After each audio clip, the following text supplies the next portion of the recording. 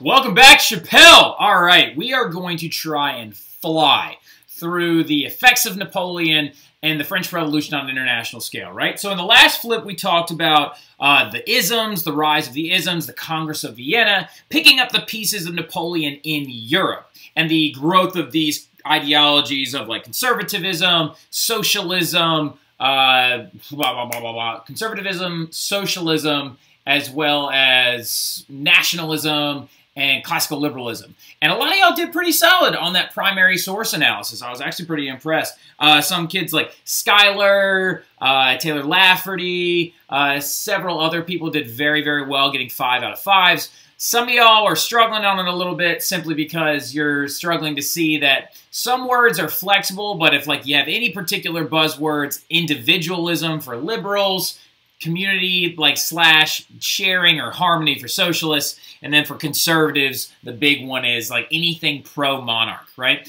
Well getting into it though the crazy stuff going on in europe we're going to hit pause on that for a little bit and we're going to wind it back and we're now we're going to take a chance to talk about the effects of napoleon and the french revolution on an international scale because what it's going to do is dramatically change everything. And like i said we're going to try and fly through this one all right? So go ahead and buckle up. Here we go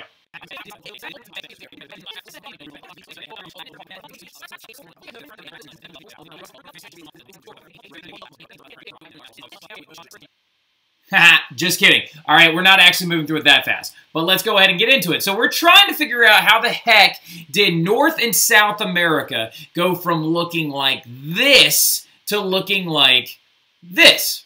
So as you can see in this map, all that green right there, that's countries controlled by Spain, okay? Controlled by Spain. Now notice right here it says British territory, so this is obviously a very, very old map. Very old map. So everything in green right here is controlled by Spain. The purple right here is Portuguese. And then what you don't realize is that a little sliver of this island right there is French. So what we're trying to establish is how the heck did we go from looking like that to having all these different independent countries like Venezuela, Colombia, Ecuador, Peru, Mexico, Belize, Jamaica, Haiti, Dominican Republic. Well, a lot of it has to do with a lot of intense, very crazy background stuff. So let's look at it again right here. So there you go. So everything in green is Spain, right? Then you have Portugal, uh, the Dutch are in a little weird spot, Saint Domingue, which is the French, and all this, the Latin American independence movements, all the way up until the 1830s, is going to cause everything in purple to break away. Now, I'm going to go ahead and throw this up there. If we wanted to, we could easily be talking about the movements of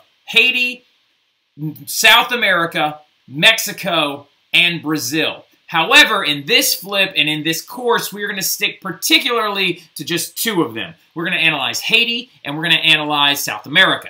So going further into it, you got to understand that there's also a huge timeline to this whole thing, giving you some background to these Latin American independence movements and how this is going to lead up to self-determination nationalism in Europe. The background of this whole thing, native people, the Mayas, the Aztecs, the Incas, are the original people from South America. So let me put a timer on just so I know exactly how much of your time I'm using up. There we go.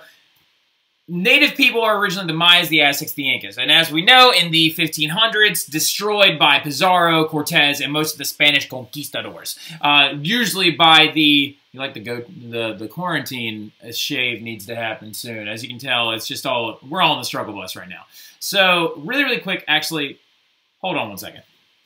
Okay, so that's a lot better. All right, so like I said, getting into some background, all right? So, as we know, the natives were the Mayas, the Aztecs, the Incas, destroyed mostly by the Spanish conquerors or the Spanish conquistadors that were coming in and setting up all these new colonies. So, going further in it, speaking of colonization, your big three colonizers of the Latin American area particularly are Portugal, Spain, France. Some of y'all are asking the question right now, oh, wait, so why is it called Latin America? Because those were Latin language speaking descendant people of Europe. The French, the Spanish, the Portuguese all speak a derivative form of like, well, I guess a barbaric form of Latin, when the barbarians, like following the fall of Rome, mixed with the former Romans and created their own new languages. So French, Portugal, and Spanish are all Romance languages, though. They speak a Latin-derived language. And so that's why it's also sometimes referred to as Latin America. So getting further into it, though, also we can see a huge timeline because we can basically see how this independence movement was on its way, no matter how you like really, really looked at it. The English Revolution is going to lead to the Enlightenment. The Enlightenment's going to lead to the American Revolution. The American Revolution led to the French Revolution, and the French Revolution led to the Latin American independence and self-determination in Europe. So we've already talked a little bit about what self-determination is. Self-determination is when a group of ethnic people, not ethnic people, that's the wrong word, when an ethnic group or cultural group decide that they don't want to be ruled by anybody but their own people, their own language, their own culture, their own music, their own style of traditional governing uh, has to be encompassing. They want a flag that represents them, a language that represents them, and everything that represents them. Now, the Latin American independence movements are going to happen like that as well, except they're not really necessarily self-determination movements. They're more like independence movements, due to the fact that these people that are living in Latin America at this point are descendants of the colonizers of Europe. Self-determination, on the other hand, they had lived in Europe for thousands of years already. They just never had their own countries. So it is going to happen like that, though. The timeline is very, very important. So we talked about that already. And then getting into it, though, the first one we're going to talk about is Haiti. So you're going to see like a revolutionary movement in Haiti. So just to give you a little heads up, this is Haiti right here. It is the western side of one large island called, write this down, Hispaniola. H-I-S-P-A-N-O-L-A. Hispaniola. So Hispaniola, underneath Hispaniola, you can have like two little arrows real quick. Under, in, bleh, on Hispaniola, there is Haiti and the Dominican Republic, modern day. During this time period, we can go ahead and roll back to this map real quick. During this time period, as you can see, they were referred to as, oh, there we go. There you go as Saint Domingue was what Haiti was called, and Santo Domingo was what the Dominican Republic was called. There it is. So, on the island of Hispaniola, there is a Spanish colony in the east called Santo Domingo, and then there's a French colony in the west known as Saint Domingue, right? Saint Domingue, or Saint Domingue, is now known as Haiti. So, getting into it before their independence movement, you got to know a little something about it. First of all, they have a huge plantation economy, and they also were one of the biggest areas for slavery in the entirety of Latin America. They only they were second only to Brazil. So Brazil had the largest number of slaves per capita. Haiti had the second largest number of slaves per capita. One out of every three people traded in the entire triangular trade system, where slaves were coming from Africa to the Caribbean, had a stop off of some type or stepped foot in like Saint Domingue slash Haiti at one point or another. The population of people in Saint Domingue, six to one slave to free people. So as you can see, there is a huge number of slaves there because their economy revolves around growing things that have to be grown on plantations. You had 40% of the world's sugar was coming from Saint Domingue, 60% of its coffee was coming from Saint Domingue. So this place made a ton of money. And some of y'all are talking about, I didn't know that Haiti was French. Well, yeah, look, check it out. Pierre Garcon is a name of a former wide receiver for the NFL, and he is a direct descendant from Haiti. So what's his name? Pierre Garcon, okay? So as you can see, the Haitians are steep in French culture. They also still speak a derived form of French, and some of you are like, well, wait a minute, what about like the Cajuns and the Creoles in New Orleans? Also very closely related. Huge amount of uh, immigration following this independence movement into the city of New Orleans. It's where you got a lot of this different stuff. So going further into it, though, since there was such a high population density of slaves on Haiti, they had a history of slave up, slave upheaval. Not to mention the fact, too, that when you have a population of six to one slave to free persons, of course these slaves are going to look around at some point and be like, wait a minute, I bet we could probably revolt really easily. And guess what? They could. So going further, even before the French Revolution, slaves had already been running away, dying in revolts at very high rates. So the colony itself was very, very unsettled. And this is in mostly like the 1750s. And around the 1750s, under the rulership of Louis XV, before Louis XVI ever even came into power, a lot of slave revolts were occurring.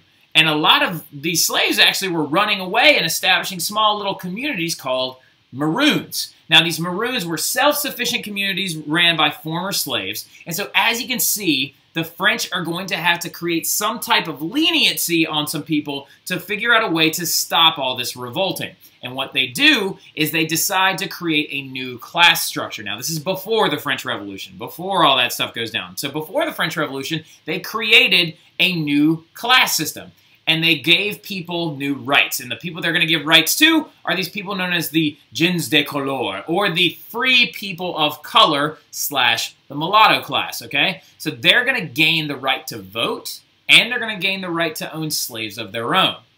A direct, like, give from the French government.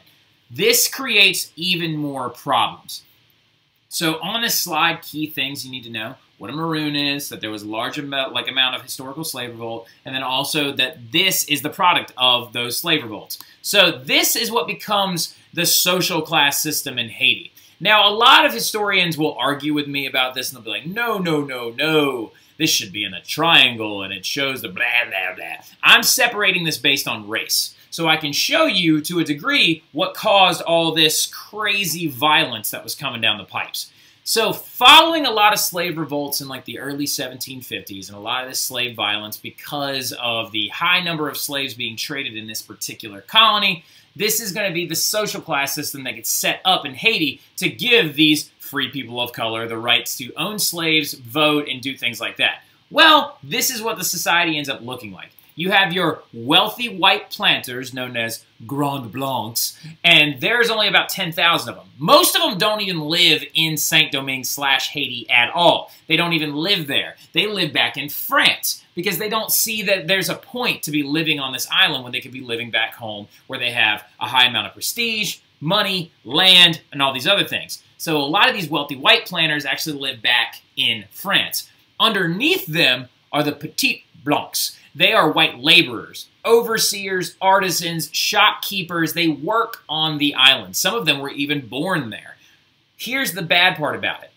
Those people, the Petit Blancs, don't have enough money to own slaves of their own or own property. Whereas these people, the free people of color, start growing a lot of wealth. Okay, can we see where this dissension is coming up? These people right here hate these people right here. These people right here don't like these people or these people. These people don't like anybody. So as you can tell, this social class system set up by the French government following a lot of this early slave revolt stuff is going to be really, really dangerous because these free people of color were allowed to own slaves and vote, whereas some of the Petit Blancs were not. So a lot of these wealthy white people didn't like the free people of color because they didn't like that they were having some rights. And then a lot of the white laborers, these Petit Blancs, don't like the free people of color because they're like, oh, there should be more discrimination on them because they're not white. So, like, as you can see, lot, lot, lot of social stratification. And also the slaves, which is 90% of the population, 500,000 people, is like, we don't like any of you, and we would like to stop being slaves, please. So what ends up coming down the pipes here soon, though, which gets erupted and throws everything out of whack, is the very, very nice job Kylie, the French Revolution. So the French Revolution begins in 1789. And when the French Revolution begins in 1789, that explodes even more violence and slave revolts in the colony of Haiti itself. So what ends up happening? This man ends up coming into play. So in 1789, slave revolts begin to erupt. And all the, the Grand Blancs, right, back in France, and all the Petit Blancs are worried about right now is fighting with each other. So here's what ends up happening. It's a very, very strange situation that ends up occurring. But as I showed you the Haitian social classes, right? You need to know, really quick, make sure you know, why do the free, like, free people of color dislike the Grand Blancs and the Petit Blancs? Why do the Petit Blancs dislike them? Like, you need to understand why there's so much strife in this whole thing. A big part about it as well, the Petit Blancs really don't like the Grand Blancs either.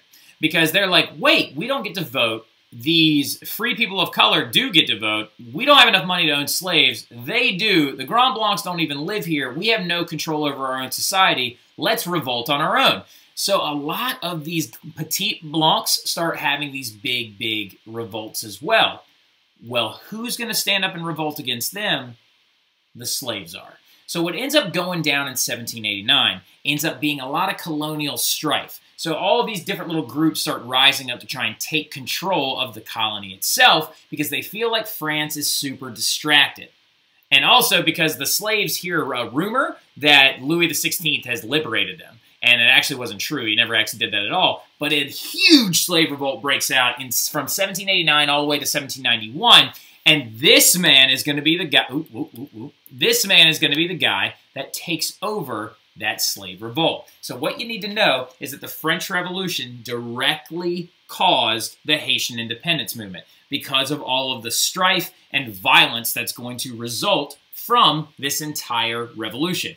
The Haitians, or excuse me, the people that live in the colony of Saint-Domingue, now known as Haiti, believe that this is their time. This is their time to revolt. This is their time to create a, an area all their own. And they're going to be able to do this because there's no way France can stop you right now. They're way too busy with their own stuff. So the guy that ends up taking over the whole thing, though, is this man. His name is, let's go ahead and pronounce it together. It's Toussaint Louverture right? Toussaint Louverture. Now, Toussaint Louverture, a former slave himself, right? Self-ed, well, not self-educated. So we believe in the historical community that he was more than likely educated by his family members who were gens de couleur or free people of color because a lot of the free people of color were educated, literate, and actually were pretty self-sustaining, functioning peoples in society. So we believe that they're going to take every opportunity they can to educate people like Toussaint Louverture, who might be one of their distant relatives.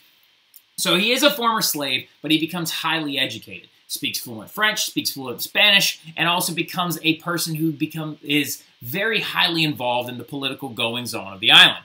Now, early on in an early slave revolt, he takes on the job of a doctor. He becomes like a field surgeon. And he ends up, this is a really dope picture, so let me go and put myself down here. He takes on the job of a field surgeon, and he starts trying to repair uh, battle wounds. And what he sees during the Haitian slave revolts is that y'all aren't organized. You're not organized. You're, you don't have, you're trying to fight people without using their tactics and our own tactics against them. So what he decides to do is he decides to study the military campaigns of the French from the past, and he tries to blend them with the ideas of the American Revolution using guerrilla warfare. So what he does is he becomes a skilled general and a diplomat, and he takes leadership of a 100,000 strong slave revolt in 1791, and he starts using guerrilla warfare tactics and French military tactics to lead them forward. And he ends up doing so well that he ends up taking over, whoops, he ends up taking over, there we go, he ends up taking over the entirety of Saint Domingue and then starts pushing into Santo Domingo, the Spanish side of the island as well. And so what do the Spanish people do for him? They make him an officer in their military. They're like, oh, Toussaint Louverture, why don't you just join our military? Because it's obvious that you hate the French just like we do.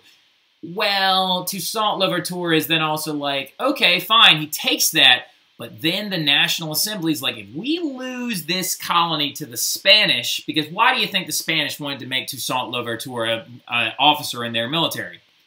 Because that way they think they're going to end up getting the colony of Haiti to themselves. And they're going to get to make all the money off that 40% of sugar, 60% of coffee. So the National Assembly decides to outlaw slavery in Santa or Saint Domingue and in Haiti altogether in 1793-1794. So Toussaint then decides to switch back, and he goes back to being a French citizen, and he rules the colony for France. So they never officially separated from France for some time. So in 1793, Toussaint Louverture becomes basically the de facto leader of the entirety of, what you call it, uh, the entirety of Haiti. Now, as you can see, there's a lot of crazy stuff going on. Because, like, this is kind of the effect that the French Revolution had on the colony of Haiti.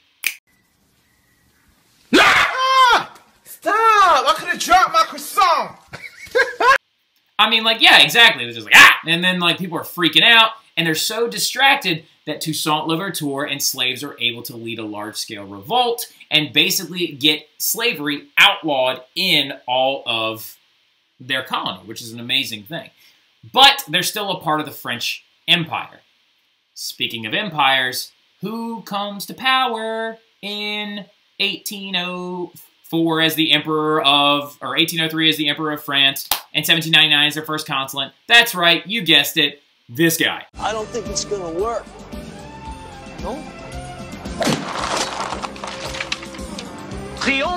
Napoleon.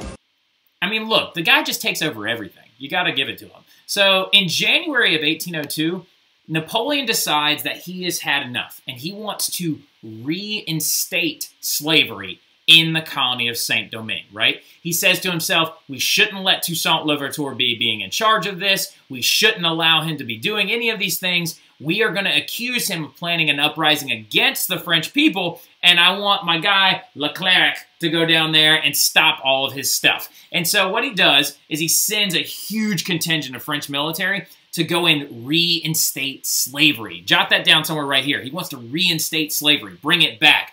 And what they do Notice it says sent him. What they do is they plan a trap and they actually arrest Toussaint Louverture and they send him back to France and they put him in prison in the French Alps where he dies 10 months later in 1803. So now you have successfully tried to reinstate slavery on a people that wanted to be away from it for the longest time.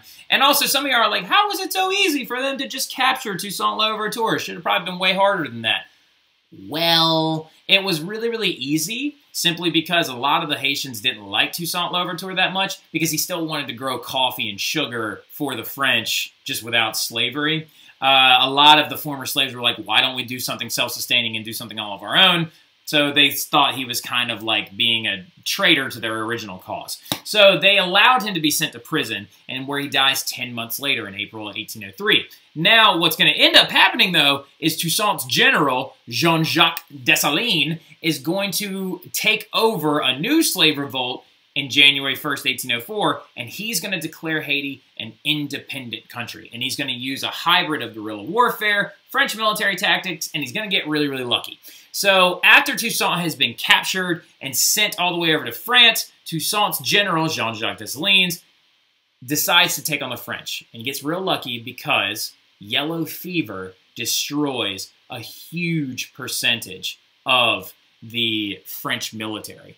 The French military falls subject to yellow fever, which they are not used to and they have no immunity to in tropical climates, so it killed a lot of the French military. Now, Haiti, in this sense, becomes the first, like, fully, like, the first black colony to free itself from European control, the second colony ever to revolutionize from Europe. It went the United States of America, and then boom, Haiti. And what he's going to do, Jean-Jacques Dessalines, is going to name the country Haiti officially after what the Taino people referred to it as for the longest time, known as the Mountainous Land.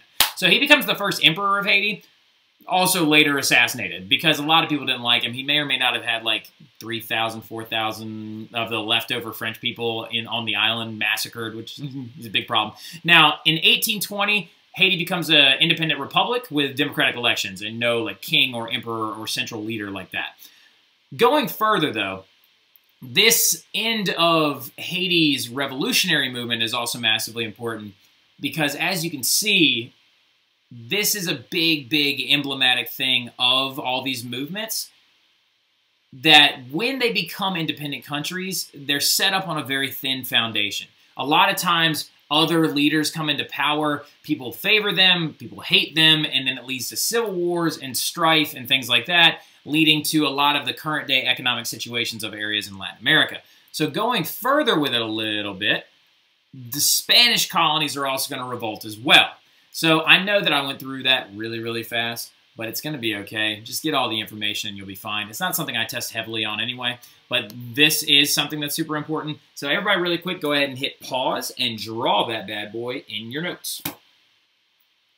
All right, good stuff. So now that we're getting further into it, we just talked about how Haiti is going to revolutionize under to the leadership of Toussaint Louverture. He's going to be captured by Napoleon when Napoleon tries to bring slavery back. Jean-Jacques Dessalines takes over, becomes gets Haiti a liberated country. And the reason why Napoleon was so willing to let it go, some of you are probably asking yourselves, like, why was Napoleon so willing to just let that whole thing go? It was due to the fact that he was tired of wasting money on trying to fight a rebellion there. He was like, I'd rather just make money off of selling this Louisiana territory back to the Americans, and we'll figure it out somewhere else. So the Latin American colonies controlled by the Spanish, though, are wildly different. They had a really, really crazy social class system set up. Their social class system looks looks almost just like this. It's a big triangle, right? It looks more like the feudal like diagram. And this like uh, this social class system has been in existence ever since the Spanish first showed up in the 1500s with Cortez, Pizarro, and Columbus. Now, even though Columbus is Italian, now, getting further into it, though, let's define all these people. So at the very, very top of the Spanish hierarchy, there were these people known as peninsulares. Now, peninsulares are white, born in Europe people, okay? They were born in Europe, and they were originally, what was I going to say? White, born in Europe. Most of them don't even live in the Latin American colonies, but they control a lot of land and plantations there. Now, the Creoles, on the other hand, are European descendant people born in Latin America. They're kind of like the Petit Blancs from Haiti. So the Creoles were born in Latin America. They live there. They're starting to consider themselves completely new and autonomous people. Then you had underneath them mulattoes, which was African descendant people and European descendant people in a mixed race. And then mestizo, which was native born people and the European people mixed race. And we remember we talked about this because a lot of the settlers for French and Spanish colonies were mostly single men. So there was going to lead to some types of racial mixing, which of course led to certain classes that were above or below others because they had European heritage. Then at the very, very bottom, you had slaves and natives. Now, the issue with this social class system is a lot like the social class system in Haiti. It's just not sustainable because what happens if um, mulatto and a mestizo have a child together? Where do they go? If a Creole and a mestizo have a child together, what class does that person fall into? If a peninsulare and a mulatto have a child together, what class does that fall into? How does that work? Where is all these people going? Some Enlightenment thinkers even tried to handle this by creating these things called casta paintings, where they would actually try to be like, oh, well, in this situation they'll go here, or in this situation they'll go here, or whatever, whatever, whatever, but it's just not very sustainable. And then, of course, who again shows up in Europe? Yep, that's right. So Napoleon is going to come in in 1808 and invades Spain, all right? This is after he's released the Haitian colony of Saint Domingue, and it has become Haiti. And so he decides to go and invade Spain, and he's going to uh, try to get them to keep going with his continental system. So when he does this, this was one of his big mistakes, known as the Peninsular Campaign. He goes in and he removes the Spanish king, Ferdinand VII, and he makes his brother, Joseph, king of Spain. Because as we talked about, Napoleon, conservative, liberal, big fella. Pick one. So what ends up happening, though, his brother becomes king of, king of Spain. The Creoles are going to use this as their reason for their revolution. The Creoles are like, wait a minute, the Peninsulares are distracted. They're all pulling out to go fight, uh, what you call it, they're all pulling out to go fight Napoleon back over in Spain. Now's our chance. So in 1810, rebellions break out all over Latin America. And peril in Spain is going to lead to these revolutions. Because the Napoleonic Wars in Spain are going to lead to a huge withdrawal of Spanish forces out of their colonies and into the areas of Latin America. So only about 10,000 of them remained in uh, Latin American colonies by about 1820, which means they don't have a lot of people there protecting it, so the Creoles use this as a chance to lead these big military forces, okay? So the big guy that's going to take advantage of this in Latin America, we had Toussaint Louverture and Jean-Jacques Dessalines in Haiti. Here in Latin America, we're going to have Simon Bolivar and Jose de San Martin. Now, so Simon Bolivar was a wealthy Venezuelan Creole, and he's going to earn himself the nickname the Liberator. A very, very famous piece of him, his sword that he carries with him right there, is actually inside the Columbia State House in Colombia. I think it's in Bogota or Medellin. It's one of the two cities. They actually have his sword there. And big thing about it is he, when the invasions in, uh, when the Napoleonic Wars start breaking, I'm going to make myself a little bit smaller. There we go. When the Napoleonic Wars start breaking out inside of Spain, he decides that it's time for us to revolutionize. So he declares Venezuela an independent country in 1811. Now, Bolivar's armies are going to have to fight for this. No way that, like, Spain or Napoleon is just going to let these colonies go. So they start having these large, large civil wars and wars within the country itself. And his armies are very unsuccessful at first. He actually gets pushed all the way onto the other side of the Andes Mountains and into Peru, modern-day Peru. Now, in 1819, Bolivar's mar- armies are going to recruit new members, grow their power, and march up and over the Andes into Colombia and defeat a huge Spanish army there. And in 18, by 1821, two years later, Venezuela declares its independence formally, along with Ecuador and Colombia as well. So they start pushing the Spanish out. Now, then he decides to march south. I know it says north, but it's march south to Ecuador, where he's going to meet up with this guy, Jose de San Martin. Now, so Jose de San Martin, a simple, modest man born in Argentina, spent time in Spain as a military officer. Oh, by the way, Simon Bolivar also has a statue of himself in New Orleans, which is a very, very cool thing, and it relates back to Latin American heritage in New Orleans. But going further with it, Jose de San Martin is a simple, modest man born in Argentina, spent a lot of time in Spain as a military officer and also at military school. So he actually had a lot of good training. But where is he? He's an Argentinian. This is actually a huge statue of him inside of Buenos Aires, which because he is considered the liberator for Argentina. Now, in Argentina, he is going to officially declare Argentina independent in 1816 right after, five years after Venezuela declares its independence and begins the fighting up in the northern region of South America. So when Argentina declares itself independent in 1816, San Martin leads an army over the Andes into Chile and joins up with a friend of his that he knew from Spain named Bernardo O'Higgins, which is one of the most ridiculous sounding names you've ever heard, because his father was Irish and his mother was Spanish, so he ends up with the name Bernardo O'Higgins. And he ends up freeing Chile from Spanish forces there. And then he marches up into Ecuador where he meets up with Bolivar and they decide to join their forces and liberate the remaining Latin American colonies, except for Brazil, because that's Portuguese, from the Spanish forces in Lima, Peru. So Argentina declares its independence. These two guys meet up. Later on, some of you are like, oh, did San Martin then take over? No, San Martin actually went to Paris where he died in 1850 of just old age. And I think he ended up living with his daughter for the rest of his life. Um, and her daughter and his daughter and her husband. Uh, Bolivar, on the other hand, is very, very victorious at ridding most of Latin America's Spanish forces. And what he decides to do is like, well, now that Spain's gone and we have these little areas, let's establish one big country in the north that I have liberated, and we'll call it Gran Colombia. So, like, really, really quick, look at all this stuff up here. Uh, Bolivar helped liberate Ecuador, Colombia, Venezuela, Guyana, Suriname, or, well, more like, anyway, Venezuela, Colombia, Ecuador, Panama, and northern Peru. San Martin is going to start in Argentina and liberate Argentina, Chile, Uruguay, Paraguay, and guess who Bolivia is named after? This guy. See any resemblance? All right, so in Peru. So going forward, though, yes, by the way, if you want to screenshot that map that I just had out there, it's probably a good one to do. And I know we're moving through this thing crazy fast, but it's okay because I want to keep us on pace. So anyway, Bolivar's version or vision of a united South America was in this country that he was going to try and establish. He was going to call it Gran Colombia, which is present-day Colombia, Ecuador, Venezuela, and Panama. Now, unfortunately, this is yet again another image of the instability of these Latin American countries, okay?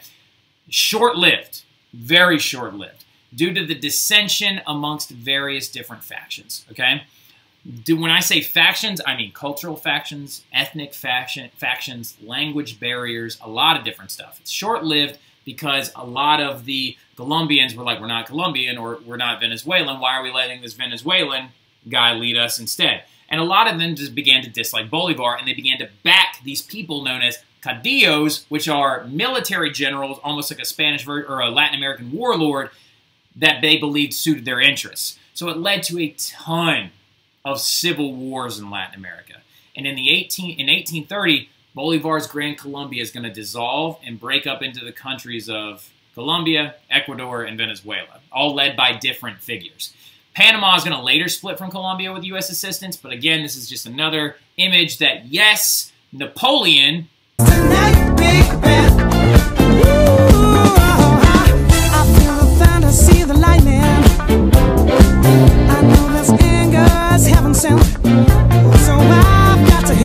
is going to cause a lot of these crazy Latin American independence movements to occur because he's going to pull all the Spanish focus over back to Europe. But Latin America, when it liberated itself, was still very unstable. The best thing we have from Latin America is, or from these Latin American independence movements, was the destruction of that old social class system. And we now have one of the most beautiful things on the planet a new race of people Latin American people. Latin American people are a homogen, like not homogenized, a combination of European, native, African, and all the cultures that go with them. And that is the greatest gift that we have from these liberation movements is our Latin American people. Shout out to all my Latin American people in the house. Woo, woo, Isabel Mora, Kelly, Ramir, Angelica Ramirez, all you guys. If I left anybody out, I apologize. Uh, so, but anyway, you guys have some deep roots in some liberation movements, but we're going to cut it there. That was a crazy flip, very intense, but I'm proud of y'all. Get after it. Stay after it. I'll see y'all tomorrow. Have a good one.